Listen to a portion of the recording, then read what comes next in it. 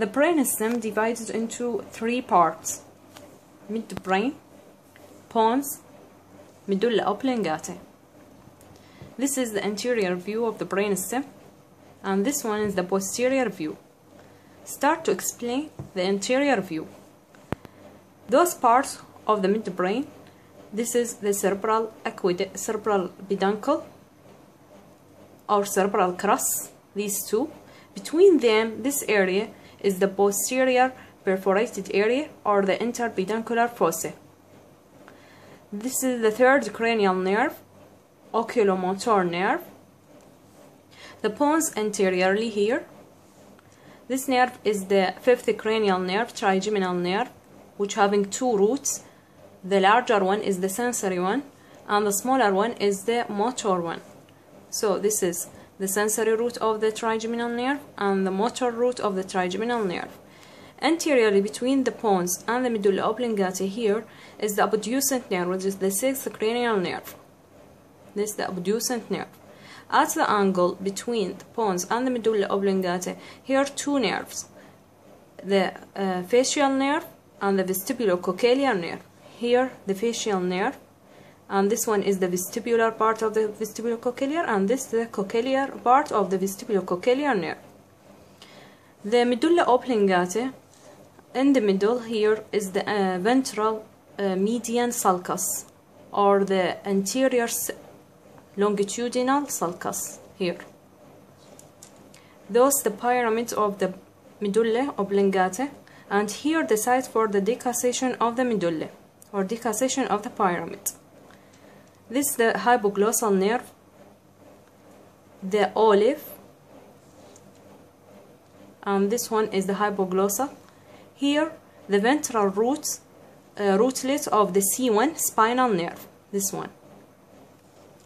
Goes more posteriorly. On the above, uh, above the brainstem here is the diencephalon parts, the pineal gland and the thalamus. This is the pineal gland. The thalamus appear here. The part is here, the habenula or habenular trigone. This one is the pulvinar of the thalamus, which is cut here. The pulvinar of the thalamus, medial geniculate body, and the lateral geniculate body. The, this the part of the diencephalon. This is the choroid plexus of the third uh, ventricle, the pineal gland, the posterior commissure here, opening of the cerebral aqueduct. We start with the first part of the brainstem, which is the midbrain here. Posteriorly is called the tectum of the brainstem. The tectum uh, peri or carrying four, uh, four similar bodies called corpora quadrigemina, which is two superior colliculi and two inferior colliculi.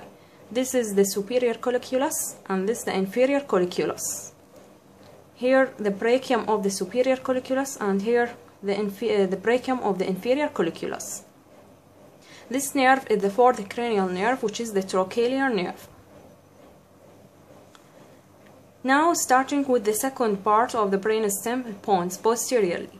Here in the middle the frenulum of the superior medullary velum. This one is the superior medullary velum.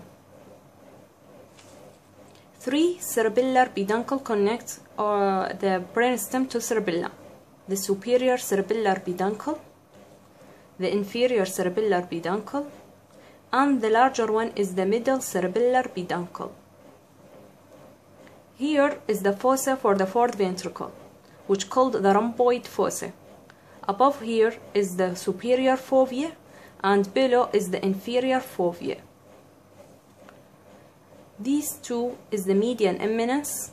In the center here is the dorsal median sulcus. This one is the dorsal median sulcus or posterior median sulcus. Median eminence. Here is the locus coeruleus. Here and here. Facial colliculus. And this one is the vestibular area. Here is the sulcus which is called the sulcus limitans. Here the sulcus limitans. This area is the medullaris stria, medullary stria or stria medullaris. a hypoglossal trigone vagal trigone and this one is the taenia of the fourth ventricle which is cut here in the angle here is the lateral recess of the fourth ventricle goes more inferiorly. Here the part of the medulla oblongata posteriorly. In the center the dorsal median sulcus or posterior median sulcus. Those two sulcus sulci is the uh, posterior intermediate sulci sulci here and here. And this one is the posterolateral sulcus. Posterolateral sulcus. Tubercles we having the gracile tubercle cuneate tubercle and trigeminal tubercle. Here one and this is the second one. The continuation of the gracile tubercle is the, called the fasciculus gracilis. Here the fasciculus gracilis. And this one the continuation of the uh, cuneate tubercle is the gracilis cuneatus here and here.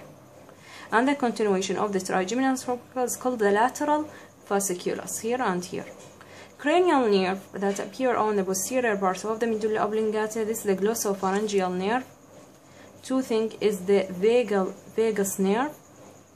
And this one is the dorsal rootlet of the C1 spinal nerve and this the ventral rootlet of the C1 spinal nerve. This one is the 11th cranial nerve which is the accessory spinal nerve here and here